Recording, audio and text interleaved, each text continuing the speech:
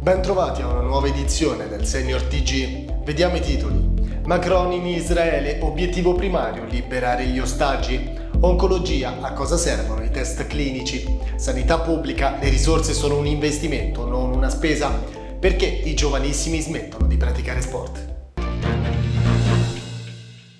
Oggi il presidente francese Emmanuel Macron è arrivato in Israele, dove ha avuto un incontro con il presidente israeliano Herzog a Gerusalemme. Dopo aver incontrato i familiari degli ostaggi di Hamas, ha ribadito come il primo obiettivo da porsi sia la liberazione di tutti gli ostaggi senza nessuna distinzione. Israele non sarà lasciato solo a combattere contro il terrorismo, ha aggiunto, e ha proposto una coalizione internazionale con i partner in Iraq e Siria anti-ISIS per combattere Hamas e tutti i gruppi terroristici che minacciano la popolazione. Proprio come i farmaci, anche i test clinici devono passare una valutazione, così da poter garantire ai pazienti il miglior trattamento possibile. Ce ne parla Giuseppe Curigliano, direttore del Dipartimento Nuovi Farmaci all'Istituto Europeo di Oncologia. La valutazione di un test clinico è diverso da quello di un farmaco.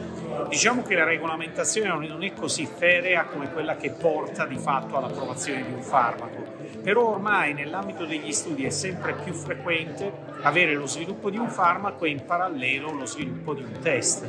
Si chiama companion diagnostic in americano penso che sarebbe opportuno nel futuro integrare nell'ambito delle sperimentazioni cliniche anche l'introduzione della test eh, tipico per predire il beneficio di una terapia in modo da validarne la sua utilità clinica.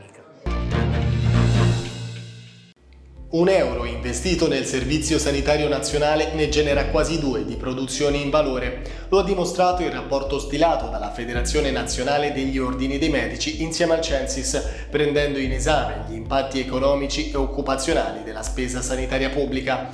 Non solo un erogatore di servizi sanitari quindi, ma un attore primario dello sviluppo italiano, ha detto Filippo Nelli, presidente della FNOMCEO. Le risorse pubbliche destinate alla sanità vanno considerate come investimento e non come una spesa. L'attività sportiva prepara i giovani a mantenere abitudini di vita salutari, ma studi recenti hanno dimostrato come il 70% dei bambini abbandona l'attività sportiva entro i 13 anni. Una ricerca della Nemworth Children Health ha studiato come i problemi legati all'immagine del proprio corpo, i social media e i pregiudizi di genere possano essere tutti fattori responsabili della crescente rinuncia allo sport. I ricercatori hanno quindi sottolineato l'importanza che i genitori comprendano l'influenza del luogo e dell'allenatore con cui si pratica lo sport.